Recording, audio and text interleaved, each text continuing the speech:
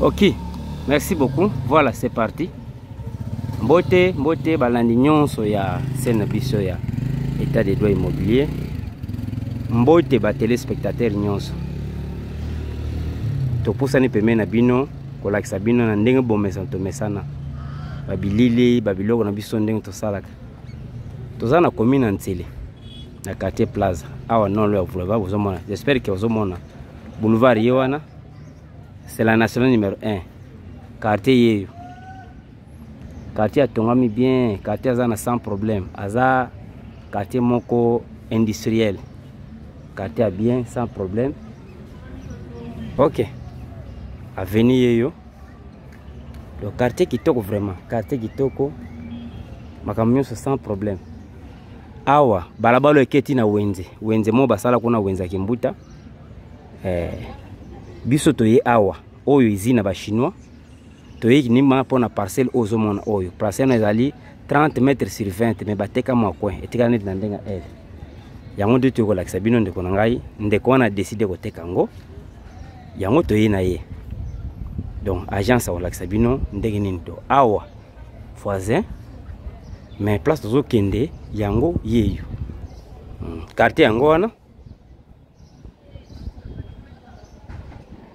bon entre yango oyo entrée na biso yango wana awa ndeko atekelaki bavoisin ndambo tekela bango oyo sikoyo ndeko atikali na awa eza neti mwa couloir ekefongama na kati portail yeyo tokota na kati botala ok ozomona ndeko atikali neti na systeme awa eza neti mwa couloir ok merci beaucoup donc lopango na biso etika neti na mwa couloir na entrée donc ezali 30 mètres sur 20 30 mètres sur 20 etikali ndako ezali ya 3 chambre salon de douche nyonso eza na kati en tout cas ndeko atika na espace ya bien adeside koteka nyonso ndako na oyo etikalaki donc agence na biso état de droit immobilier okozwa biso na plus 243 90 34 34 860 ndako eza kitoko eza ndako monene basali yango na bacondition nyonso normal donc courant mai nyonso ezali awa eloko ya kodute eza te mai yango wana mai ezobima sans problème eh, kota na kati te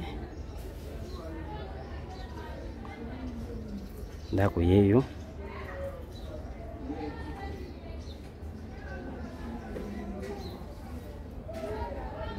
tika na couloir ya bien ya kitoko donc 30 mètres sur 20 ndako ezali 3 chambre salon cuisine salle de bain de douche nyonso eza na kati awa mpe tozala mwa douche na biso ya libanda oyo esungaka bandeko bapaya elo bayaka mpo base servir bus mpe ya libanda eza nango bien ah, ok oyo dushe ya libanda j'espère ke ndeko asali yango na bacondition nyonso normal douche toilette nyonso eza propre ndako ndako aza propre Douche ya libanda yango oyo vraiment aza bien na ba norme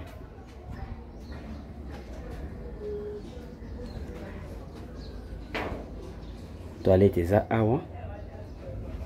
na ba norme plus 243 90 34 34 860 agence état de droit immobilier nde moto amemi bino awa kotala eloko na biso oyo c'est 30 mètres sur 20 oyo etikali na ndako ezali 3 chambre salon cuisine salle de bain babiloko nyonso eza na kati nsima ndako yeyo ndeko atiango na valeur ya 100 000 dollars adisite 100 000 dollars ndeko na ngai ozwi eloko oyo ozwi appartement oyo etikali ya yo libela na libela donc ndeko atia na valeur ya 100 000 dollars adisite ozwa eloko oyo etikala yo plus 243 90 34 34 860 état de droit immobilier seke na biso ezala edi oyo eza nsima ndako c'est trois chambres salon cuisine salle de bain nyonso eza na kati ndako eza kitoko karo makambo nyonso kitoko ndeko na ngai tala offre bien opportunité à ne pas rater ozwa mbongo na yo osomba eloko oyo ya yo na place ya bien otikala yo na kimia ndako eza kitoko couloir mpe yango oyo douche eza mibale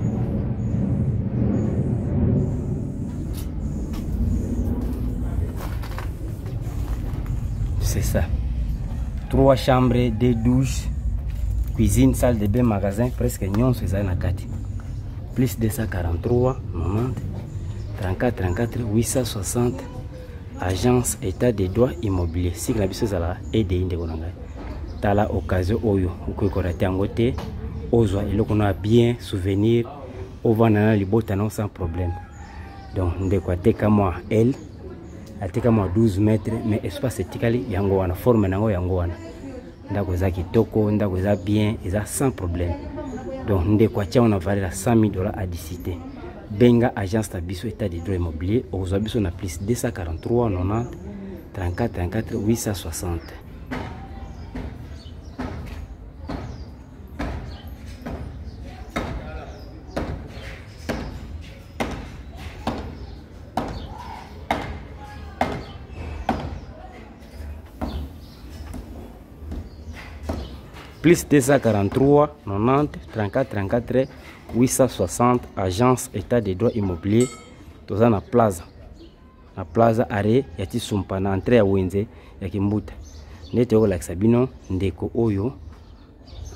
appartement na ye azoteka wana kuna voisin